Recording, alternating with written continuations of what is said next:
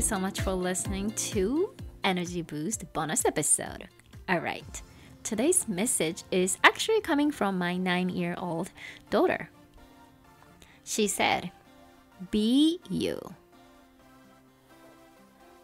I asked her what this means to you, and she answered this. She said, I love being myself because I am awesome. I want you to remember, or actually, all the girls, and girls meaning girls, like little girls, to to you, like you, and even older women. Please do not forget how awesome you are, no matter the society, what what the society tells you, and keep on loving yourself because you are all amazing in your own way.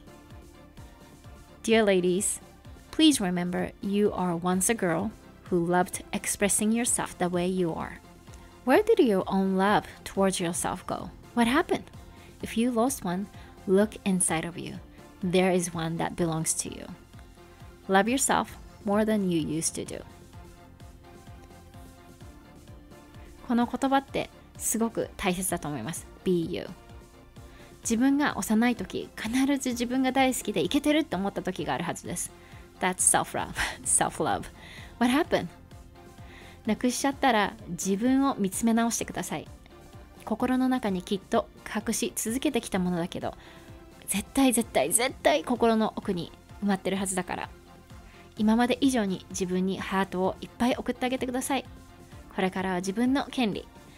誰からの許可もいりません。I love you so much and have a fantastic day. Bye bye.